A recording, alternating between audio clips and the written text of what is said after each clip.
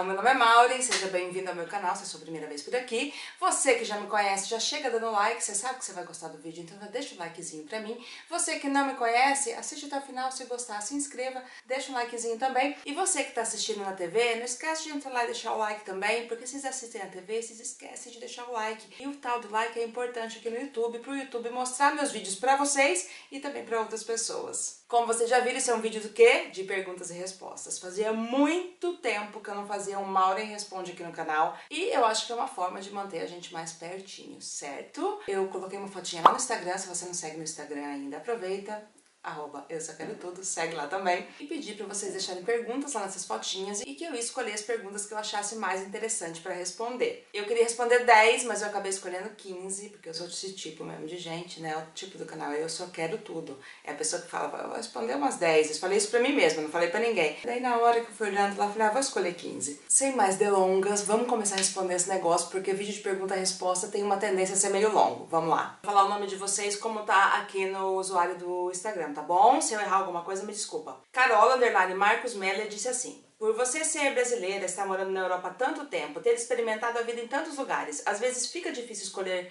um lugar só para morar? Como é esse sentimento dentro de vocês? Eternas saudades dos lugares e pessoas ou lidam de boa? Muitas perguntas, mas acho que deu para entender. Sim, a gente tem muita dificuldade de saber onde morar. A gente sente ao mesmo tempo que o mundo é nossa casa e a gente não pertence muito a nenhum lugar mais, né? O Mark já tá fora da Inglaterra já tem um bom tempo, eu fora do Brasil também. É aquela sensação assim, o Brasil é meu lar, a Inglaterra também é meu lar porque é o lar do meu marido, a Espanha é nosso lar porque a gente já morou aqui antes e a gente está morando aqui no momento. Outros lugares que eu visitei também eu me senti muito em casa, outros países. Claro que você ir de férias é uma coisa e você passar uma temporada e ver como as coisas funcionam é totalmente diferente. As burocracias, a parte de saúde, educação, segurança, política do país. É sim difícil escolher hoje em dia um lugar para ficar, para morar e sim a gente tem eterna saudade da família, não tem como. Quem mora fora tem que aprender a conviver com isso. As suas opções são aprender a conviver, sofrer e ficar longe né, da família ou você voltar ficar perto da sua família e deixar as outras coisas para trás. E essas são as opções assim mais práticas e diretas, né? Eu já falei isso aqui outras vezes, outro dia escrevi no Facebook, às vezes escrevi no Instagram. Esse negócio de morar fora tem gente que romantiza demais. Não são só flores. Se você tiver um passaporte do lugar que você quer morar, vamos por aqui na Europa, um passaporte europeu e dinheiro, facilita bastante. Mas mesmo assim você vai sentir falta de algumas coisas. É a vida de quem mora fora do país. Claro que deve ter uma outra pessoa, exceção, que deve falar: não, não sinto falta de nada do meu país, não sinto falta minha família, da comida, do clima, paisagens, dos lugares, nada. Deve existir essas pessoas. Mas das pessoas que eu já encontrei pelo caminho, talvez isso seja 0.0001%. Tinha uma eterna saudade respondendo, né? Mas também eu sei lidar com isso de boa. Eu mais do que o Mark, porque o Mark e os pais moram aqui na Espanha, a gente tá na casa dos pais agora. O irmão tá na Inglaterra, uma hora e meia, duas horas de voo, ele chega aqui quando ele quer visitar os pais, então é bem diferente da minha família que está do outro lado do oceano. E a gente sempre sente saudade dos amigos que a gente conhece e vai deixando aí pelo caminho, sempre, sempre. Meu, tanto os meus amigos do Brasil, quanto outros amigos que a gente fez aí pela vida, nesses anos de estrada. A Dolcejana me fez uma pergunta que eu acho que eu preciso de umas sessões de terapia, assim, para responder, mas eu vou tentar ser prática. Ela disse, eu tenho duas perguntas. Qual é a coisa mais importante que eu deveria saber sobre você? Que pergunta é essa, Jana?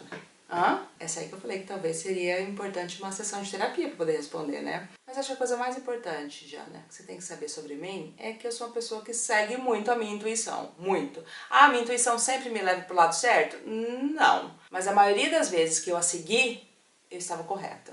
Uma outra vez então correta sim. E eu acho que isso é uma coisa importante das pessoas saberem. E a outra pergunta foi: se você pudesse passar uma hora conversando com qualquer pessoa do mundo, quem seria e sobre o que vocês iriam falar? Ela disse qualquer pessoa do mundo. Ela não falou se tinha que estar viva morta, ela falou que era qualquer pessoa do mundo. Se eu pudesse passar um tempo conversando com qualquer pessoa nesse mundo, eu conversaria com meu bisavô, que ele saiu daqui de Málaga, entrou no navio e foi pro Brasil. Eu queria saber o que motivou ele a fazer isso, ou se ele não teve escolha, porque eu sei que nesse tempo o Brasil mandava muitos navios para levar esses imigrantes. Eles iam de graça, eles não pagavam essa viagem. Só que para que, que eles levavam esses imigrantes? Eles levavam esses imigrantes para trabalhar praticamente de graça no Brasil. Então, muitas pessoas que tinham uma condição péssima de vida aqui acabavam entrando nesses navios em busca de uma coisa melhor, em busca dessa promessa, em busca de uma vida melhor. A vida aqui já não estava boa, vamos tentar lá do outro lado do mundo. E às vezes, na verdade, quando eles chegavam no Brasil, a condição era pior ainda do que eles tinham aqui. E Andaluzia era uma região muito, muito pobre naquela época, quando ele foi. Então, eu imagino que ele foi sim pelas condições. Eu queria conversar do que motivou, como foi, por que, que ele fez isso, o que, que ele deixou para trás e tudo mais. Dora Ju Gabi perguntou: Você pretende fazer uma nova aventura pelo mundo? Bom, eu não entendi exatamente como é essa pergunta. Se é viajar, eu pretendo sempre viajar, gente, para todos os lugares que eu puder, enquanto eu puder, enquanto eu tiver saúde.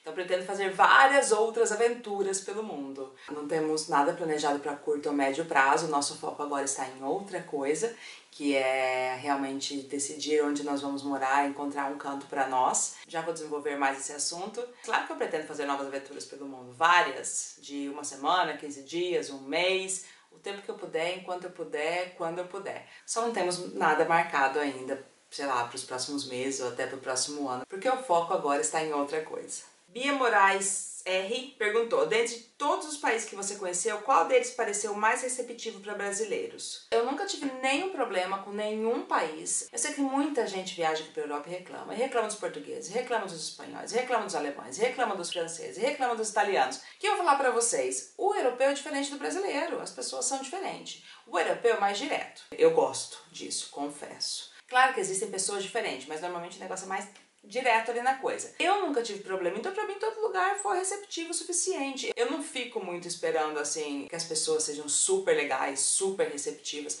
Eu vou lá e curto meu rolê, faço minhas coisas. Então assim, eu não sei, não sei qual país seria mais receptivo para brasileiro. Se você tiver alguma coisa aí, alguma resposta para isso, você que já viajou, deixa embaixo para dar uma luz aí para nós. Eu não tive problema em nenhum lugar. Eu passava como não brasileira em muito lugar, porque a gente está dentro do motorhome. A placa do motorhome é da Inglaterra. O Mike fala inglês, eu já chegava falando inglês. Uma coisa que eu sei que acontece, que eu já vi na minha frente, não é que ninguém me contou. Já me contaram, mas coisa que eu vi na minha frente. Muito brasileiro chega aqui na Europa e ele quer ser tratado, quer ser servido sabe? A gente tem esse costume no Brasil de ser servido. E aqui as coisas não funcionam bem assim. Eu já vi gente sendo muito folgada, assim, em restaurante, em lanchonete, brasileiro. E daí eu entendo que o atendente, a atendente, o garçom não vai tratar aquela pessoa tão bem. Aí depois aquela pessoa vai voltar pro Brasil e vai xingar o atendente, a garçonete, o vendedor da loja. Se você quer viajar aqui pela Europa, fazer turismo e tal, não tenha zilhões de expectativas no quesito, ai, vai ser todo mundo super legal. Mas também não vem com o negócio no coração falando, ai, vão ser todo um chato, uns grossos. Já falei aqui pra vocês, seja humilde. Você tá num outro país, uma outra cultura, é outra língua. Aprenda a falar umas palavrinhas básicas na língua do lugar que você vai visitar um muito obrigado, um bom dia, um tchau, um por favor, que isso abre portas assim que você nem imagina. E eu tô respondendo assim como turista, porque como imigrante, aí são outros 500. O imigrante passa por outras situações. Eu tô respondendo mesmo como turista. Ana Paula Pinheiro perguntou: Eu gostaria de saber se os locais da Itália como um todo realmente não gostam de turistas. Tá, se a Itália, né, se os italianos não gostam de turista. Gostaria de saber se essa afirmação é verdadeira. Eu não sofri nenhum preconceito na Itália por ser turista. A Itália é lotada de turistas. Dos países que a gente visitou, eu acho que o que mais tem turista, gente, assim, não só em Roma, em outros lugares também. Eu também não sei se foi a época do ano que a gente passou na Itália. A gente passou na Itália na primavera. E tudo quanto é lugar é cheio. Milão é lotado, Roma é lotado, Florença é lotado. As cidadezinhas da Toscana que são mais turísticas são lotadas. Eu acho que o italiano é mais diretão também, mais, né, grossão ali no jeito de falar. E as pessoas se ofendem com muita facilidade, gente. É é isso que eu acho. a maioria das pessoas vão tratar você normal, outras vão tratar bem e outras vão tratar mal. Existem tudo quanto é tipo de experiência por aí, experiências boas, experiências ruins. Eu não lembro de ninguém me maltratando na Itália. Sei que algumas pessoas têm experiências ruins na Itália, mas comigo nunca aconteceu. Então, se for falar da minha experiência, eu não acho que o italiano não gosta de turista, mas essa é a minha experiência. E também falar que todos os locais, que a Itália, que os italianos não gostam de turista, sei lá, é uma generalização assim também. Com certeza deve ter as pessoas que não gostam de turista lá, mas e daí? Tem as pessoas que não gostam de turista no Brasil, tem na França, tem tudo quanto é lugar. É isso. E de coração aberto para os lugares, ser educado, ser humilde, aprender a falar umas palavrinhas na língua do local. Rena Bidu, underline, falou que tem interesse de saber como funciona o sistema de saúde na Europa, principalmente para quem pretende morar. Cada país funciona de uma forma. Eu não sei te responder como funciona em cada país, até porque morar mesmo eu só morei na Espanha. Aqui na Espanha, o tipo de residência que a gente tem, a gente tem que pagar um plano de saúde completinho que inclui tudo. Então eu pago um plano particular. Se eu trabalhasse em algum lugar aqui na Espanha, tudo legalzinho, tudo certinho, eu ia começar a pagar meus impostos, consequentemente eu teria direito à saúde pública.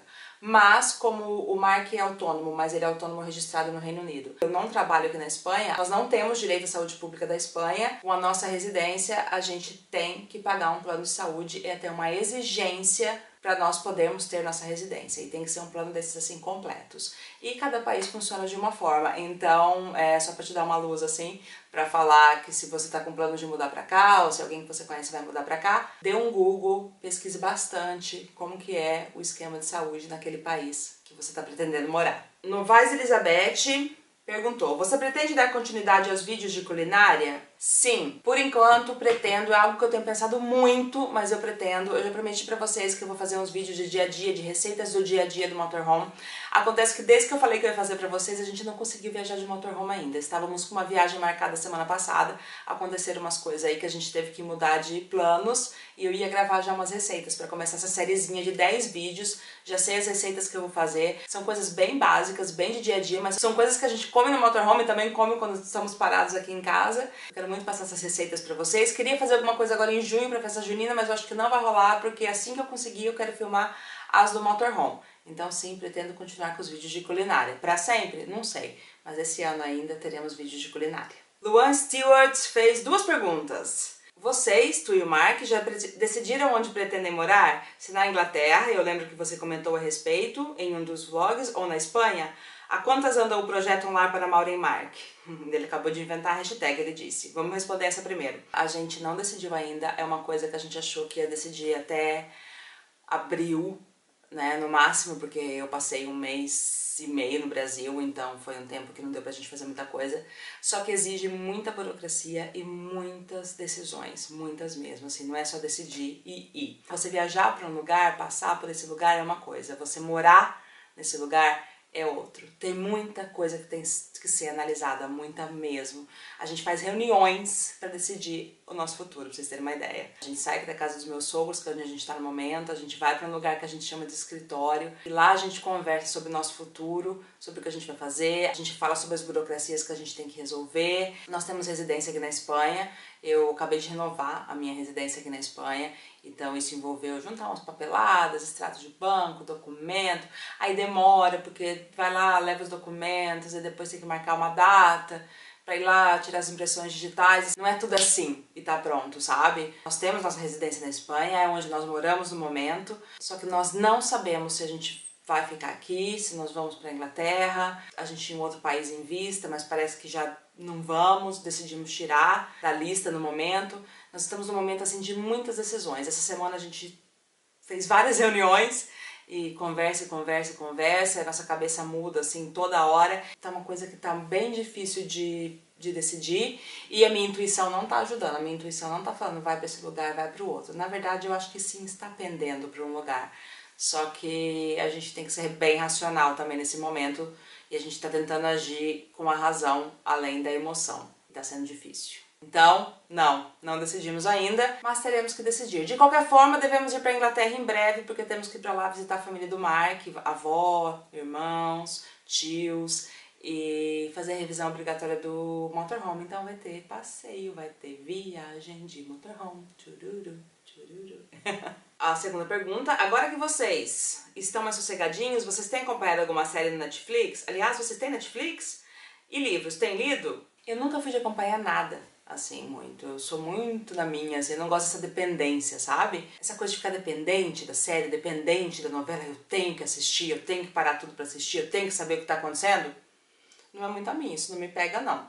Eu gosto de assistir Grey's Anatomy, só que eu tô tipo uma temporada e meia atrasada e tudo bem. Nós começamos a assistir Narcos já tem um tempinho nós abandonamos, mas a gente quer voltar a assistir. Tô esperando sair a terceira temporada de The Crown, que é uma série que eu gosto bastante, até indiquei aqui pra vocês. Enfim, de vez em quando a gente vai assistindo uma coisinha aqui, uma ali, mas a gente não fica assim louco querendo saber as séries novas, assistindo todas e maratonando, porque a gente não tem nem tempo. Não tô conseguindo tempo nem para resolver as coisas pela minha vida, assim, como é que eu vou conseguir tempo para assistir série, né? Então, não, não tá rolando.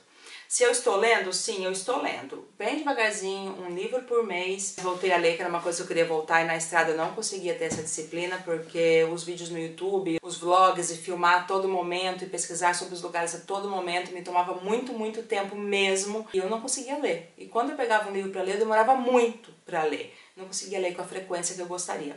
Então eu terminei esse aqui, eu nunca tinha lido Augusto Cury, terminei de ler Prisioneiros da Mente, que é um romance psiquiátrico, ficção, mas é Augusto Cury, então é, sempre tem uma mensagenzinha ali, uma liçãozinha. A linguagem é super fácil, bem tranquilo de entender, sabe? É um livro assim pra todo mundo, bem tranquilo de ler. E tô com um livro aqui que eu já comprei tem um tempo, que é esse livro aqui. Vocês lembram quando a gente visitou o bairro Gótico, eu e a Cris, Cris do Sol de Barcelona? Lá em Barcelona, o bairro Gótico, nós visitamos, eu fiz um tour, vou deixar o card aqui pra vocês, era terminar o vídeo de perguntas e respostas, assiste que tá bem legal, como uma região de Barcelona ali, que é bem interessante. E nós falamos da Santa Maria del Mar, da igreja, e falamos uma série que tem no Netflix, que chama A Catedral do Mar, Catedral del Mar, alguma coisa assim, e eu falei pra Cris que eu tinha comprado o livro. E eu comprei o livro em catalão. Catalão é a língua que se fala na região da Catalunha, e aqui, ó, L'Església del Mar, que seria a Igreja do Mar. Ah, Mauro, mas você fala catalão? Não, mas eu entendo tudo quando as pessoas falam e entendo também na leitura.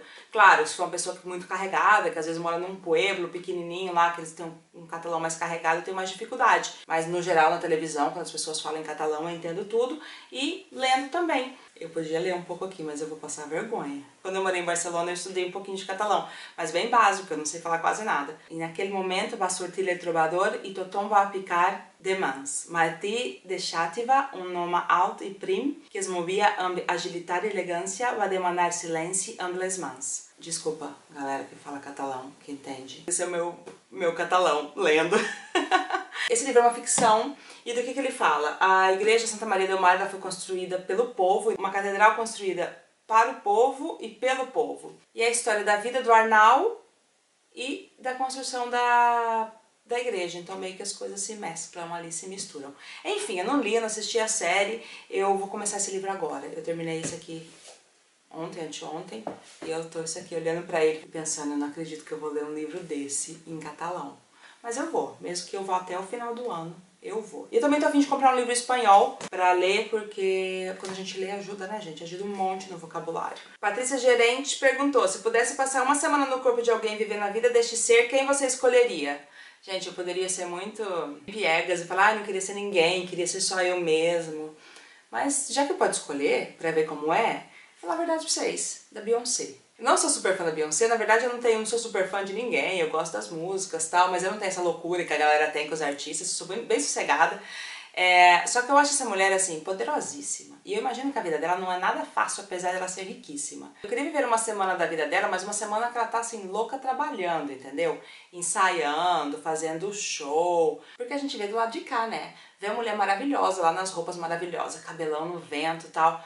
Mas qual que é o trabalho todo para chegar até aqui naquele ponto? Quanto que essa mulher ensaia? Aquelas coreografias que ela dança, quantas horas para fazer uma coreografia daquela, para chegar ali no palco maravilhosa? E quando ela chegar no palco, ela deve estar tá destruída, mas ela vai lá, ó, na pose, no saltão. Eu acho ela uma mulher incrível, poderosíssima. Podia ser mais demagoga, escolher qualquer outra pessoa, mas não, escolheria Beyoncé. Queria ser Beyoncé uma semana, mas queria ser, não queria ser Beyoncé uma semana de férias, não. Queria ser Beyoncé uma semana na lida para ver que é, como é que é a rotina dela, que deve ser muito louca e uma realidade totalmente diferente da minha. Beleza e Bagagem perguntou, como você sente que influencia o mundo ao seu redor? Você nos influenciou tanto que estamos quase comprando nosso motorhome, obrigado. Sabe que essa coisa de influenciar as pessoas nunca passou na minha cabeça assim, até que eu criei esse canal aqui, né? E daí você começa a receber mensagem das pessoas, falando, ah, eu fui nesse lugar porque você falou, ah, eu tô pensando em fazer isso porque você falou tal. E daí foi muito legal ver que eu tava influenciando as pessoas por uma coisa pro bem, assim.